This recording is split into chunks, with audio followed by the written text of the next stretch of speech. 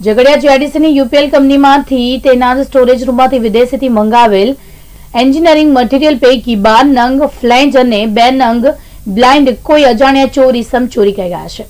કુલ રૂપિયા સોળ પોઈન્ટ સાઠ લાખની મત્તા ચોરી થઈ હોવાની ફરિયાદ યુપીએલ કંપનીના સ્ટોર આસિસ્ટન્ટ મેનેજરે ઝઘડિયા પોલીસ મથકમાં ફરિયાદ નોંધાવી છે.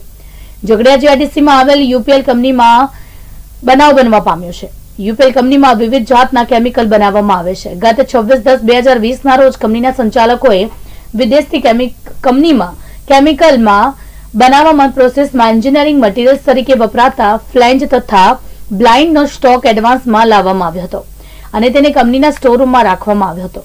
ગત ચાર બાર બે હજાર વીસના રોજ કંપનીના છેલ્લા પાંચ વર્ષથી આસિસ્ટન્ટ મેનેજર તરીકે ફરજ બજાવતા રાજુ અરવિંદભાઈ ટેલર કંપની પર ફરજ પર હતા ત્યારે કંપનીના સ્ટોર એક્ઝિક્યુટિવ અશ્વિન શામલે તેમને જણાવેલ કે આપણા આ સ્ટોરમાં લોખંડનો બંધ દરવાજો ખોલી અંદર પ્રવેશ કરી કોઈ ચોર, માણસ નાના મોટા ફ્લેન્જ અને બ્લાઇન્ડની ચોરી કરી લઈ ગયા છે.